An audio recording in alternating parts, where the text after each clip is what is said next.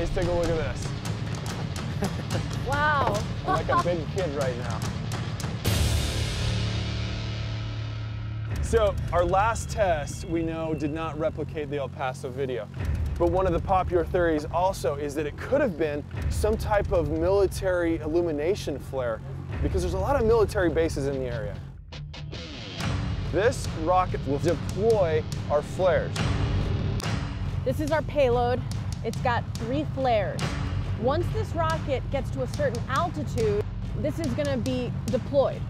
So at first, they're gonna fall down, ignite it all together like we saw in the video, solid light. But soon, this electrical tape will burn away, then the flares will separate, fall a little bit more by themselves before another charge will set off some parachutes. So that's how we're gonna get our triangle UFO in the sky when it splits the three flares. Yep. All right, well, we have to make sure that we have a very level platform because this thing needs to shoot up and it's gonna go pretty high.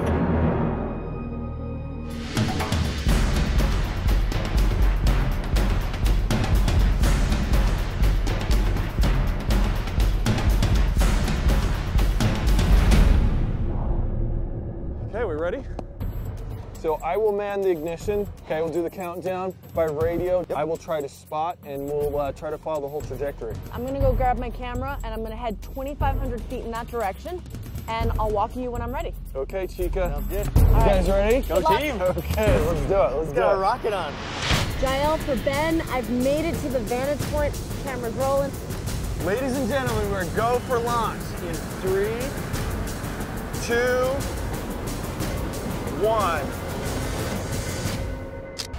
Fact or faked. An original series, all new Wednesdays at 10, only on Syfy. Imagine greater.